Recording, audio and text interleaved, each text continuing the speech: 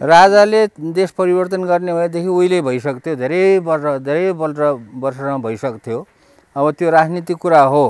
त्यो राजनीतिक कुरामा राजनीतिक एउटा तन्त्र एउटा चाहे राजतन्त्र होस् चाहे प्रजातन्त्र होस् कुनै तन्त्र लोकतन्त्र होस् जुनसुकै तन्त्रले पनि तन्त्र ल्याउँदैमा पनि विकास हुने भएदेखि अहिलेसम्म भइसकेको थियो पृथ्वीनारायण शाहको पालाको पहिल्यैदेखि र पृथ्वीनारायण शाहको पालामा जब यो नेपाल अलिक ठुलो भयो एकीकरण गरेर त्यो बेलादेखि अहिलेसम्मको जति पनि सरकार बन्यो कोही पनि कसैले पनि यो अनुसन्धान तथा विकासलाई प्राथमिकता दिनुपर्छ भन्ने किसिमको आवाज चाहिँ उठेको छैन र त्यस्तो किसिमको कदम पनि चालेको छैन। भारतसँग जोडिएका वारपारै सिमानाको बारेमा गरेका सीमाङ्कनका महत्त्वपूर्ण कागजात चाहिँ अस्तिको रहको एजेन्टलाई दिएर पठाएको प्रदीप गेवालीले सङ्कलन गरेर भन्ने कुरा छ होइन? ज जसले नेपालको इतिहासै डुबाउँछ अरे कि? है?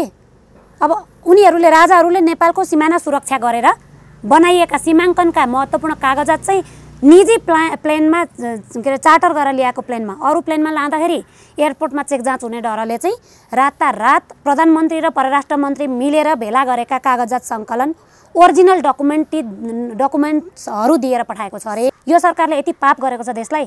पद्मा गेवाली केपी ओली विद्या भण्डारी प्रदीप गेवाली भनेको यो नेपाल राष्ट्रका एक नम्बर भयङ्कर शत्रु हुन् इतिहासमा नभएका शत्रु हुन् यिनीहरूले फेरि डुबाउँदैछन् देशलाई त्यति मात्र होइन सम्भवतः लिम्पियादुरा लिपुलेकमा ल्याप्चै हानेर दिइसकेका छन् यिनीहरूले।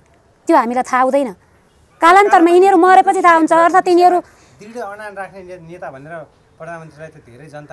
सम्मान पनि गरेका थिए नि त। तिनैलाई सोध्नुहोस् न त अझै पनि भन्छन् भने। नत्र एकपटक त बहुमत ल्याएकालाई जनताले सम्मान गरेको हुन्छ क्या? दिएको हुन्छ। तर ऊ ठाउँमा पुगिसकेपछि के काम गर्यो भनेर हेर्ने हो नि त नागरिकले त। ए यस्ता भेडा जनता भएकोमा देश बेचेर के भयो? नागरिकता बेचेर के भयो? प्रधान सेनापतिलाई नेपालकै सेनापति बनाएर यहाँको सबै सर्वस्व डोजर चलाइदिए पनि के भएको छ र? होइन? जनताले साथ दिइहाल्छ नि त। अहिले मे बेगरको दाई भएको कारणले योभन्दा त बरु राजाले गरेको धेरै राम्रो रहेछ। राजाले एकछिनलाई मान्नुहोस्। राजाले बैसठी त्रिसठी सालमा अठार उन्नाइसजना मान्छे मार्दा सत्ता छोडिदिए। के भने? भन्दाखेरि मलाई मान्छे मारेर सत्तामा बस्नु जरुरी छैन। देश विकास हुन्छ नेपाली जनतालाई शान्ति हुन्छ सुख हुन्छ भने म हाँसी हाँसी दरबार छोडिदिएँ भनेर छोडेँ। बाह्र बुन्दे दिल्ली सम्झौता? बाह्र बुन्दे दिल्ली सम्झौता विदेशमा भयो। तर हाम्रा नेताले के भने भने हामीहरूले गुलाबको फुल रोपेका छौँ। गुलाब फुल छ भने तर धतुरो फुलिसक्यो। अब नेपाली जनताले बल्ल थाहा पाए यो त गुलाब होइन रहेछ यो त धतुरो रहेछ। अब उपाय के गर्नु पऱ्यो भने धतुरोको बोट उठ्नु उखेल्नु पऱ्यो त्यसको ठाउँमा सुन्दर रूप रोक्नका लागि अहिले देशभरि जनता नेपाली जनता चिन्तित के छन् भने हाम्रो सिक्किमको जस्तो अवस्था हुनसक्छ है नेपालीको नेपालको। हाम्रो अवस्था तपाईँको अफगानिस्तान जस्तो हुनसक्छ। त्यसैले कुनै न कुनै रूपमा राजा भनन् भने यो देश रहँदैन भन्ने मान्यता अहिले देशभरि छ। राम्रो ठाउँमा अवस्थित पत्रकार सम्मेलन कक्षमा विराजमान हुनुभएका भूतपूर्व सैनिकहरू अधिकारीहरू यहाँ संस्कार पत्रकार साथीहरू। सबभन्दा पहिला जो हाम्रो विषयलाई हामीले आज यहाँ बोल्न आएका छौँ र त्यसको लागि पूर्व पत्रकार साथीहरूले सहयोग गरेर यहाँ आइदिनुभएकोमा धेरै धेरै धन्यवाद। टक्राउन चाहन्छु। मैले दुई तिनवटा कुरा मात्रै भन्न चाहन्छु। मैले पहिला कुरा के भन्न चाहन्छु भन्दा हाम्रो गुनासो यो देशको सरकारप्रति यो देशको समाजप्रति म गर्न राख्न चाहन्छु। अहिलेको समसामयिक कुरा के हो हाम्रो पूर्व सैनिकहरूको भने नेपालमा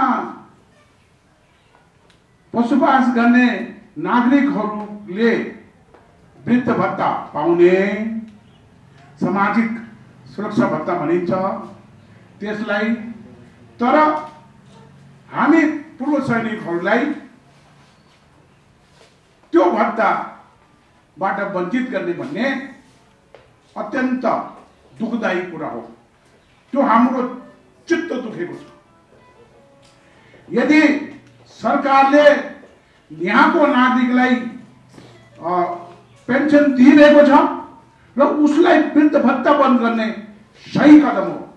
सहुलियत दुई सहुलियत नदिएको तर पूर्व सैनिकहरू जसले यो देशको ढुकुटीबाट एक पैसा लिएको छैन तर वृद्ध भत्ताको हकदार हुँदाहुँदै पनि हामीलाई नदिने भनेको हामीलाई छुट्याएको अज्ञान नागरिकको बिल्लामाथि सरकारले लगाएको हो त्यो कुरो तपाईँहरू सबैलाई बताउनु चाहे नभनेर हामी आज यहाँ उपस्थित भएको। र मैले यही मञ्चबाट यही रिपोर्टर्स क्लबको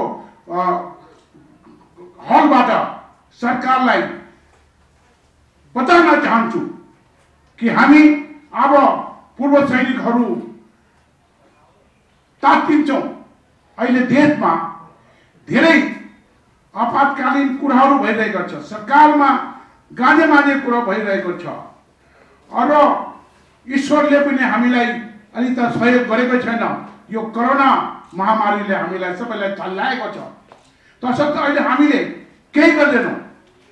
तर भोलिको दिनमा अलिकता अवस्था ठिक भयो भने हामीलाई हाम्रो पूर्व सैनिकहरूले सत्तर वर्ष काटिसकेका वृद्धहरूलाई वृद्ध भत्ता अहिले पनि हामीले पटक पटक भनेको बावजुद पनि दिएन भने हामी सडकमा उत्रछौँ। र अस्तिको दिनमा यहाँका नागरिकहरूले यहाँका संस्थाहरूले गरेको आन्दोलन हेरे होला। अब यो सरकारले बन्दुक बोक्ने भूपुहरूको बन्दुक बोक्ने पूर्व सैनिकहरूको आन्दोलन कस्तो हुनेछ त्यो हेर्नेछ। भन्ने म तपाईँहरूलाई सरकारलाई भन्न चाहन्छु। पहिला कुरा। दोस्रो कुरा अघि कर्नल धनबहादुर थापाज्यूले दुई तिनवटा कुराहरू जो पूर्व सैनिकहरूले पाउनुपर्ने सुविधाहरू छ जस्तो सिएसटीको सुविधा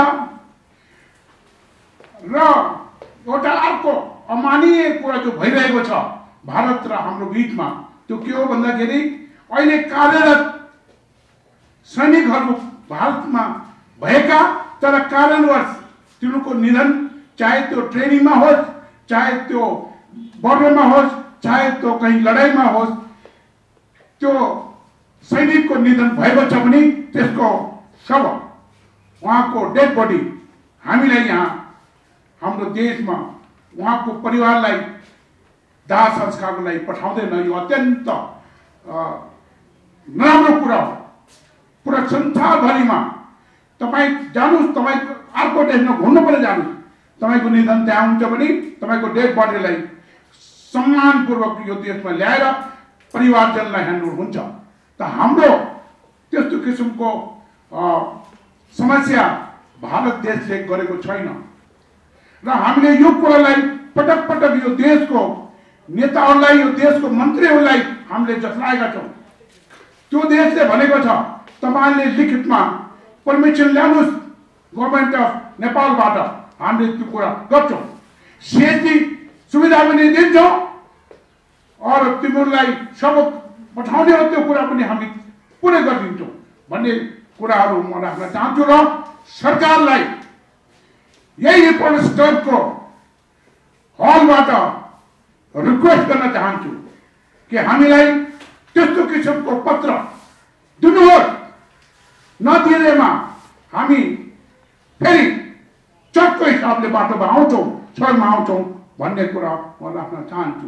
हामी पत्रकार सम्मेलनको दाजु पत्रकारहरूलाई विद्वान पत्रकारहरूलाई म भन्न चाहन्छु कि हामी पूर्व सैनिकहरू लाई आत्म सम्मानबाट वञ्चित गरिएको छ। हामीलाई हाम्रो वृद्ध भत्ता नदिनु भनेको हामीलाई अपमान गरेको।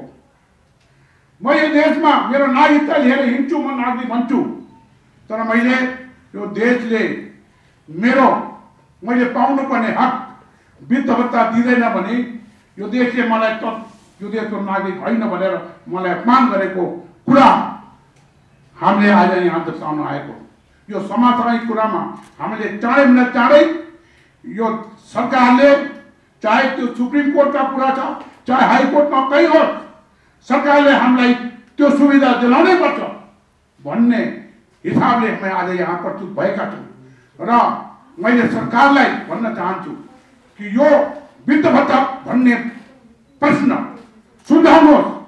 हाम्रो पूर्व सैनिकहरूलाई अलिअलि त तिन तिन हजारको पैसाले हामी धनी बन्ने होइन। तर समाजमा ए त त पुरुष सैनिक होस्। तैँले त भत्ता पाइने मैले त पाएँ भन्ने जो अपमान समाजमा भइरहेको छ त्यसको लागि हामी लड्न आएको मेरो पूर्व सैनिकहरू त्यसरी अपमानित नहोला भनेर सरकारलाई आग्रह गर्न आएको। हामीले गृहमन्त्रीसँग हामीले प्रधानमन्त्रीलाई भेट्छ सबैलाई थाहा छ यो कुरा। तर यो कुरा सच्याएको छैन। सच्याउनुहोस् चाँडैबाट चाँडै दुर्भाग्यवश यो देशमा कोरोनाको महामारी छ यो देशमा सरकारमा बस्ने मान्छेहरूमा उथल पुथल छ अर्को राजनीतिक दलमा पनि गाने माने भइरहेको छ। त्यस्तो समयमा हामीले यो कुरा राखेछौँ। तर यो कुराहरू मेरो पत्रकार बन्धुहरूले अलि राम्रो तरिकाले कान्तिपुरमा होस् अरू कोही ठुला ठुला पत्र पत्रिकाहरूमा ठुलो ठुलो अक्षरमा त्यो कुरा लेखिदिनुहोस् कि पूर्व सैनिकहरूले आफ्नो हक मागेछ दिनुहोस् भनेर उनीहरू कराएको छ भन्ने मलाई लाग्छ। तपाईँहरूको आवाज यो सरकारले अवश्य पनि बुझ्ला भनेर मैले आशा र विश्वास राख्दै म पत्रकार बन्धुहरूलाई धन्यवाद टर्नाउँदै म यो कन्फरेन्स प्रेस कॉन्फ्रेंस यही समाप्त भएको घोषणा गर्दछु धन्यवाद। जय नेपाल